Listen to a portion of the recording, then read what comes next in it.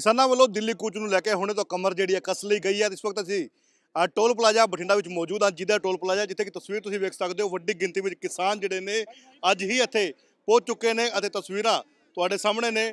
ਟਰਾਲੀਆਂ ਦੀ ਗੱਲ ਕੀਤੀ ਜਾਵੇ, ਲੰਬੀ ਲਾਈਨ ਜਿਹੜੀ ਟਰਾਲੀਆਂ ਦੇ ਇੱਥੇ ਲੱਗ ਚੁੱਕੀ ਹੈ ਅਤੇ ਹਰ ਇੱਕ ਟਰਾਲੀ ਦੇ ਵਿੱਚ ਕਰੀਬ ਕਰੀਬ 2 ਮਹੀਨੇ ਦਾ ਰਾਸ਼ਨ ਜਿਹੜਾ ਹੈਗਾ ਇਸ ਵਕਤ ਇੱਥੇ ਲੈ ਕੇ ਜਾ ਰਹੇ ਨੇ। ਤਾਂ ਤਸਵੀਰ ਤੁਸੀਂ ਵੇਖ ਸਕਦੇ ਹੋ, ਕਿਸਾਨ ਆਗੂ ਇੱਥੇ ਤਕਰੀਬਨ ਸਾਰੇ ਪਹੁੰਚ ਚੁੱਕੇ ਨੇ। ਗੱਲਬਾਤ ਸ਼ੁਰੂ ਕਰ ਲੈਂਦੇ ਆ ਸਰ ਕਿਸ ਤਰੀਕੇ ਤਿਆਰੀ ਹੈ ਕਿ ਅੱਜ ਹੀ ਦਿੱਲੀ ਜਾ- ਵੱਲ ਨੂੰ ਜਾ ਰਹੇ ਹੋ?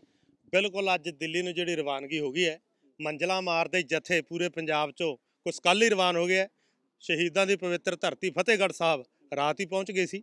ਇਧਰੋਂ ਜਿਹੜੇ ਮਾਲਵੇ ਦੇ ਜਥੇ ਹੈ ਇਹ ਅੱਜ ਮੰਜ਼ਲਾ ਮਾਰਦੇ ਇੱਥੋਂ ਸ਼ੁਰੂਆਤ ਹੋਗੀ ਸ਼ਾਮ ਤੱਕ ਸੰਗਰੂਰ ਦੇ ਵਿੱਚ ਜਾ ਕੇ ਸਟੇ ਕਰਾਂਗੇ। ਕੱਲ ਨੂੰ ਦਿੱਲੀ ਹੈ ਜਿਹੜੀ ਉਹਦੇ ਵਿੱਚ ਪ੍ਰਵੇਸ਼ ਕਰ ਜਾਣਾ ਜਿਹੜੀ ਤਰੀਕ ਡਿਸਾਈਡ ਕੀਤੀ ਗਈ ਸੀ ਉਹਦੀ ਮੀਟਿੰਗ ਵੀ ਹੁਣੀ ਪੈਂਡਿੰਗ ਪਈ ਹੈ। ਕਿ ਉਸ ਤੋਂ ਪਹਿਲੇ ਹੀ ਸੰਗਤਾਂ ਤੁਰ ਪਈਆਂ। 13 ਤਰੀਕ ਨੂੰ ਅਸੀਂ ਦਿੱਲੀ ਦੇ ਵਿੱਚ ਐਂਟਰ ਹੋਣਾ ਹੈ। ਅੱਜ 11 ਹੋ ਗਈ।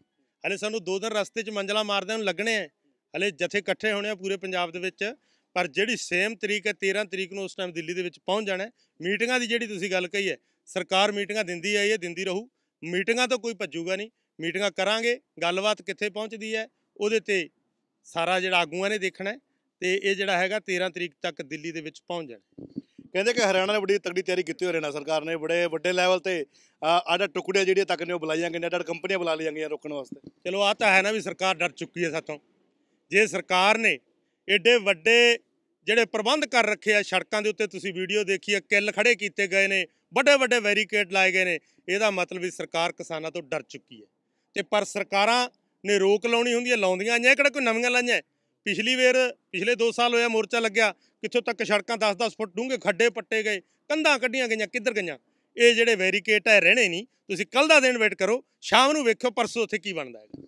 ਪਿੰਡਾਂ ਦਾ ਮਾਹੌਲ ਕਿਵੇਂ ਇਸ ਵਕਤ? ਪਿੰਡਾਂ ਵਿੱਚ ਤੁਸੀਂ ਜਾ ਜਾ ਕੇ ਆਏ ਹੋ ਤਕਰੀਬਨ ਸਾਰੇ ਪਿੰਡਾਂ ਵਾਲੇ ਖੜੇ ਹੋ। ਬਿਲਕੁਲ ਆ ਪਿੰਡਾਂ ਦਾ ਮਾਹੌਲ ਹੀ ਆ ਪਿੱਛੇ ਹਲੇ ਫਰੀਦਕੋਟ ਤੱਕ ਟਰਾਲੀਆਂ ਆ ਰਹੀਆਂ ਸਾਰੀਆਂ ਨੇ ਇੱਥੇ ਇਕੱਠੀਆਂ ਹੋ ਜਾਣਾ। ਪਿੰਡਾਂ ਦਾ ਤਾਂ ਮਾਹੌਲ ਉਸ ਸਮੇਂ ਕਲੀਅਰ ਹੋ ਗਿਆ ਸੀ ਜਦੋਂ ਅਸੀਂ ਤਿੰਨ ਕਾਨਫਰੰਸਾਂ ਪੰਜਾਬ ਦੇ ਵਿੱਚ ਕਿਸਾਨ ਮਹਾਪੰਚਾਇਤਾਂ ਕੀਤੀਆਂ ਜੰਡਿਆਲਾ ਗੁਰੂ ਚ ਕੀਤੀ, ਸ਼ਹੀਦ ਕਰਤਾਰ ਸਿੰਘ ਸਰਾਭਾ ਦੇ ਪਿੰਡ ਚ ਕੀਤੀ, ਬਰਨਾਲੇ ਦੇ ਵਿੱਚ ਕੀਤੀ। ਲੋਕਾਂ ਦਾ ਹੜ ਆਇਆ, ਆਪ ਮਹਾਰੇ ਲੋਕ, ਆਪਦੀ ਜੇਬ ਚੋਂ ਤਿਲ ਫੁੱਲ ਲਾ ਕੇ ਬੱਸਾਂ ਇਕੱਠੀਆਂ ਕਰਕੇ ਲੱਖਾਂ ਦਾ ਇਕੱਠ ਹਰ ਕਿਸਾਨ ਮਹਾਪੰਚਾਇਤ ਦੇ ਵਿੱਚ ਹੋ- ਹੋਇਆ। ਤੇ ਉਤਸ਼ਾਹਤ ਤਾਂ ਜਿਹੜੇ ਕਿਸਾਨ ਲੋਕ ਸੀ, ਉਦੋਂ ਪਤਾ ਸੀਗਾ। ਅੱਜ ਜਿਹੜਾ ਪਿੰਡਾਂ ਦੇ ਵਿੱਚ ਉਤਸ਼ਾਹ ਤੁਸੀਂ ਵੇਖੋਗੇ। ਹਲੇ ਤਾਂ ਇਹ ਜਥੇ ਅੱਜ ਸ਼ੁਰੂ ਹੋਇਆ ਦੋ ਤਿੰਨ ਦਿਨ ਜਥੇ ਮਗਰ ਚੱਲਦੇ ਰਹਿਣੇ ਆ ਕੀ ਸਮਝਿਆ ਜਾਵੇ? ਦੂਜੀ ਜਥੇਬੰਦੀਆਂ ਕਈ ਜਿਹੜੀਆਂ ਨਹੀਂ ਜਾ ਰਹੀਆਂ ਲੱਗਦਾ ਜਿਸ ਤਰੀਕੇ ਨਾਲ ਵੀ ਹਾਵ ਭਾਵ ਬਦਲ ਰਹੇ, ਹੁਣ ਉਹਨਾਂ ਦੇ ਵੀ ਉਹ ਵੀ ਨਾਲ ਆ ਜਾਣਗੇ ਸਭ ਨੂੰ ਜਾਣਾ ਪਊਗਾ। ਸਭ ਨੂੰ ਜਾਣਾ ਪਊਗਾ। ਇਹ ਕੋਈ ਜਿਹੜੀਆਂ ਡਿਮਾਂਡਾਂ ਨੂੰ ਲੈ ਕੇ, ਜਿਹੜੀ ਕਿਰਤੀ ਲੋਕਾਂ ਦੀ ਪੀੜਾ ਨੂੰ ਉਹਦੀ ਕਿਰਤ ਦੇ ਉੱਤੇ ਵੱਜਦੇ ਹੋਏ ਡਾਕੇ ਨੂੰ ਲੈ ਕੇ ਚੱਲੇ ਆ ਅਸੀਂ, ਇੱਥੇ ਕਿਸੇ ਦਾ ਲੁਕੇ ਛਿਪੇ ਗੁਜ਼ਾਰਾ ਨਹੀਂ ਹੋਣਾ। ਦੋ ਦਿਨ ਵੇਖਿਓ। ਦੋ ਦਿਨ ਵੇਟ ਕਰੋ। ਜਿਹੜੇ ਇੱਥੇ ਆਂਦੇ ਅਸੀਂ ਜਾਣਾ ਨਹੀਂ, ਇਹਨਾਂ ਨੂੰ ਲੋਕ ਤੋਰਨਗੇ। ਇਹ ਤਾਂ ਅੱਗੇ ਵੀ ਆਂਦੇ ਸੀ ਵੀ ਅਸੀਂ ਜਾਣਾ ਨਹੀਂ। ਅੱਗੇ ਤੁਸੀਂ ਦੇਖਿਆ ਖਨੌਰੀ ਤੇ ਕੀ ਹੋਇਆ ਸੀਗਾ? ਇਹ ਤਾਂ ਅੱਗੇ ਵੀ ਆਂਦੇ ਸੀ, ਝੰਡੇ ਸਿੱਟ ਦਿਓ ਜਿਹਨੇ ਕਹਾਂ ਜਾਣਾ ਹੈ। ਤੇ ਫਿਰ ਲੋਕ ਲੈ ਕੇ ਗਏ ਨਾ, ਇਹ ਲੋਕ ਲੈ ਕੇ ਜਾਂਦੇ ਹੁੰਦੇ ਆ, ਸਾਰੇ ਜਾਣਗੇ।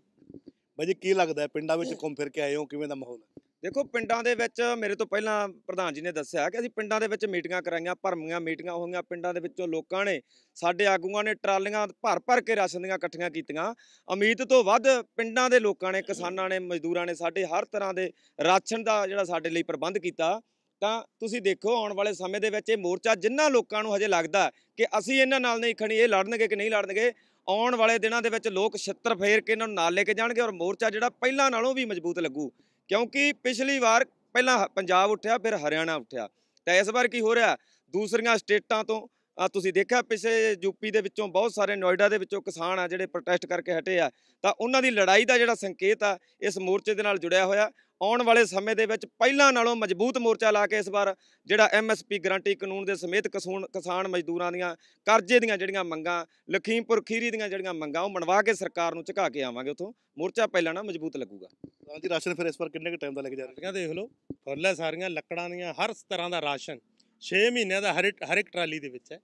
ਕੋਈ ਕਿਸੇ ਕਿਸਮ ਦੀ ਕਸਮ ਕਮੀ ਨਹੀਂ ਹੈ ਤੁਸੀਂ ਹਰ ਟਰਾਲੀ ਦੇਖ ਸਕਦੇ ਹੋ ਇੱਕ ਕੈਂਪ ਨੇ ਇਹ ਟਰਾਲੀਆਂ ਨਹੀਂ ਕਿਸਾਨਾਂ ਦੇ ਸਾਲ-ਸਾਲ ਦੇ 6-6 ਮਹੀਨੇ ਦੇ ਕੈਂਪ ਨੇ। ਹਰ ਰਸਤਾ ਹਰ ਰਾਸ਼ਨ ਸਾਰਾ ਪ੍ਰਬੰਧ ਮੁਕੰਮਲ ਹੈ। ਠੀਕ ਹੈ ਤਾਂ ਤਸਵੀਰਾਂ ਤੁਸੀਂ ਵੇਖ ਸਕਦੇ ਹੋ। ਜ਼ੋਰਦਾਰ ਨਾਅਰੇਬਾਜ਼ੀ ਕਰਦੇ ਹੋਏ ਅੱਜ ਹੀ ਪਿੰਡਾਂ ਵਿੱਚੋਂ ਟਰਾਲੀਆਂ ਜਿਹੜੀਆਂ ਨੇ ਕਿਸਾਨਾਂ ਦੀਆਂ ਰਵਾਨਾ ਹੋ ਰਹੀਆਂ ਨੇ। ਸ਼ਾਮ ਤੱਕ ਜਾਂ ਕੱਲ ਤੱਕ ਪੂਰੀ ਟਰਾਲੀਆਂ ਜਿਹੜੀਆਂ ਨੇ ਇਹ ਬਾਰਡਰਾਂ ਦੇ ਨੇੜੇ ਪਹੁੰਚ ਜਾਣਗੀਆਂ ਅਤੇ ਜਿਵੇਂ ਹੀ ਇਹਨਾਂ ਨੂੰ ਸੰਕੇਤ ਮਿਲੇਗਾ ਆਦੇਸ਼ ਮਿਲੇਗਾ ਉਸੇ ਤਰੀਕੇ ਨਾਲ ਜਿਹੜੀ ਹੈਗੀਆਂ ਨੇ ਇਹ ਦਿੱਲੀ ਵੱਲ ਨੂੰ ਕੂਚ ਕਰਨਗੀਆਂ। ਜ਼ੋਰਦਾਰ ਨਾਅਰੇਬਾਜ਼ੀ ਸੁਣ ਸਕਦੇ ਹੋ। ਇੱਕ ਹੋ ਜਾਓ ਇੱਕ ਹੋ ਜਾਓ। ਕੇਂਦਰ ਦੀ ਮੋਦੀ ਸਰਕਾਰ ਮੁਰਦਾਬਾਦ। ਤਾਂ ਬਿਲਕੁਲ ਤਸਵੀਰਾਂ ਤੁਸੀਂ ਵੇਖਿਆ ਦੂਜੇ ਪਾਸੇ ਟਰਾਲੀਆਂ ਦੀ ਗੱਲਬਾਤ ਕਰ ਲੈਂਦੇ ਆ ਤੁਹਾਨੂੰ ਟਰਾਲੀਆਂ ਦਿਖਾ ਦਿੰਦੇ ਆ ਕਿਸ ਤਰੀਕੇ ਨਾਲ ਜਿਹੜਾ ਰਾਸ਼ਨ ਹੈਗਾ ਇਹਨਾਂ ਦੇ ਵਿੱਚ। ਦੱਸਦੇ ਨੇ ਕਿ 6-6 ਮਹੀਨੇ ਦਾ ਰਾਸ਼ਨ ਜਿਹੜਾ ਹੈਗਾ ਉਹ ਇਹ ਲੈ ਕੇ ਤੁਰ ਰਹੇ ਨੇ ਅਤੇ ਇਸ ਵਕਤ ਟਰਾਲੀਆਂ ਦੀ ਲੰਬੀ ਲਾਈਨਾਂ ਤੁਹਾਨੂੰ ਨਜ਼ਰ- ਨਜ਼ਰ ਆਣਗੀਆਂ ਕਿ ਦੂਰ ਤੱਕ ਜਿੰਨੀਆਂ ਟਰਾਲੀਆਂ ਨੇ ਇੱਥੇ ਲਾਈਨਾਂ ਲਗਾ ਕੇ ਟਰਾਲੀਆਂ ਜਿਹੜੀਆਂ ਨੇ ਖੜੀਆਂ ਨੇ ਅਤੇ ਦੂਜੇ ਪਾਸੇ ਰਾਸ਼ਨ ਦੀ ਗੱਲ ਕੀਤੀ ਜਾਵੇ ਇਹਨਾਂ ਦੇ ਵਿੱਚ ਰਾਸ਼ਨ ਹੈ।